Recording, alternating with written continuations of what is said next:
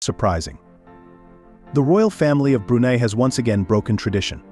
Traditionally, the Brunei royal family has married their cousins for generations. However, this time, Prince Abdul Al Mateen of Brunei has married a commoner.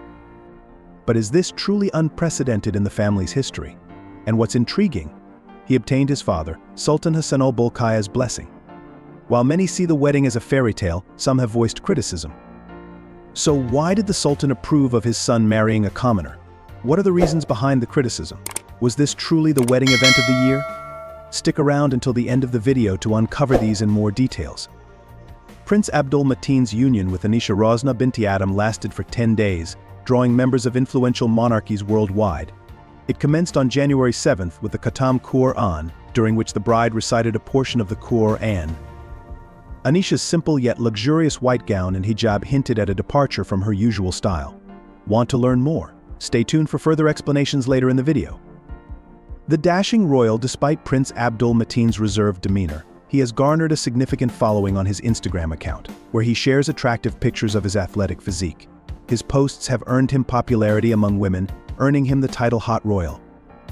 And one of Asia's most eligible bachelors, however, with his recent marriage, the prince is no longer eligible. Born on August 10, 1991, in Brunei, Prince Abdul Mateen is the Sultan's fourth son and tenth child, currently sixth in line to the throne. Despite his royal lineage, his ambitions are vast. He commenced his journey with military training at the Royal Military Academy Sandhurst at 18, subsequently joining prestigious regiments. Seeking broader horizons, he ventured into politics, earning a degree in international politics from King's College London in 2014. Yet, his quest for knowledge persisted beyond graduation. Transitioning into a role alongside his father, he represented Brunei at significant events such as the 24th Commonwealth Heads of Government meeting in Malta in November 2015. His humility and dedication led to a promotion to acting captain in 2016, all while pursuing a master's in international politics from the School of Oriental and African Studies, University of London. Despite his royal status, Prince Abdul Mateen remains grounded, driven by his passions and pursuits. During this period, the prince reportedly met his significant other, Intrigued to learn more about her? Stay tuned to uncover the details. Transitioning to the Air Force, Prince Abdul Mateen completed a seven-month elementary flying training course with the British Royal Air Force by April 28, 2017. He continued his training as a helicopter pilot, proudly receiving his wings from his father upon returning to Brunei. He furthered his military training and took on diplomatic duties, representing his father in negotiations and attending events on his behalf one might wonder how he found time for leisure amidst his busy schedule. Given his packed agenda, it's no surprise that information about the prince's dating life is scarce. He was simply too occupied. However, in 2016, the prince described himself as funny and weird in a good way hinting at his personality. He eventually tied the knot with a strikingly beautiful woman. But with his hectic schedule, how did he woo his wife and manage to marry her? And how did they initially meet? According to reports, the couple met in England and began their relationship in 2018, but it wasn't until 2020 that they committed more deeply. While Prince Abdul Mateen is active on social media, sharing his captivating photos, not much is known about his personal relationships. He kept his relationship with Anisha discreet. However, speculation arose when they started appearing together at public events. Anisha attended Prince Abdul Mateen's sister's wedding in 2022 as his plus one, in 2023, they attended another family wedding, where they announced their engagement, endorsed by the Sultan himself in October 2023. The revelation came as a surprise since Anisha was a commoner. How did the Sultan endorse the relationship? What influenced his decision? Was the marriage arranged by the Sultan? Anisha is not of royal lineage, but she is not a commoner as widely believed. Anisha comes from a noble background. Her grandfather, Pehin Dato Ayasa, serves as one of the Sultan's advisors and is the founding chairman of the Royal Brunei Airlines, the country's largest airline. Due to her grandfather's position, Anisha has been associated with the Brunei royal family since childhood.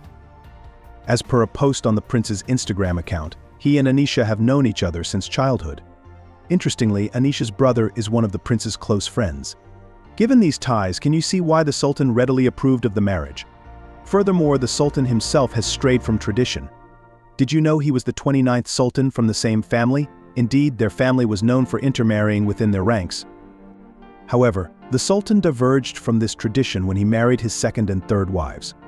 Prince Abdul Mateen's mother, Mariam Abdul Aziz, was a flight attendant for Royal Brunei Airlines before marrying him.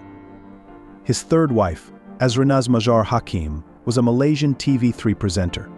Now, do you understand why the Sultan supported this marriage? He simply isn't bound by tradition, and Anisha not wearing a hijab didn't deter him. Perhaps he anticipated her adoption of it for the wedding and remained unfazed. Could it be that he orchestrated the marriage? Let us know your thoughts in the comments below. The truth is, the couple has known each other for a long time, and their relationship has been tested over time. Anisha and the prince share more than just love, they share hobbies too. The new princess shares her husband's passion for soccer and has diverse interests. With a degree in economics, she co-founded a fashion brand called Silk Collective and a tourism venture named Authenticary. Anisha also has a knack for cooking, evident from the mouth-watering dishes she shares on Instagram. However, there's a dark secret in Anisha's family that could affect her marriage. Continuing with the wedding, following the Khatam Quran, the couple celebrated their Istiadat Berbedak, a lavish powdering ceremony, and conducted the Akad Nikah, even more extravagant. Their wedding culminated in vows exchanged at Istana Nurul Iman, the world's largest residential palace. Despite adoration from fans, critics deemed the ceremony wasteful, labeling it decadence in the face of poverty nevertheless. This isn't the first time the Sultan has spared no expense for an event. For his 50th birthday, he spent approximately $25 million and had Michael Jackson perform privately for him. The Sultan certainly knows how to spend lavishly. Do you believe his expenditures are justified? Happily ever after? More importantly, will the extravagant wedding strain the couple's relationship? Both have experienced divorce in their families. The Sultan divorced Prince Abdul Mateen's mother, and Anisha's parents also divorced after years of abuse. Will they learn from their parents' mistakes, or are they destined to repeat them? As the saying goes, the apple doesn't fall far from the tree.